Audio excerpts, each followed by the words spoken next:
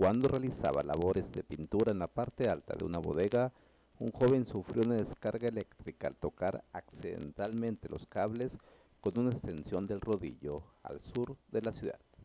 Los hechos fueron reportados a las 17.20 horas de ayer en el cruce de las calles Campeche y Porones Prieto, en la colonia Independencia.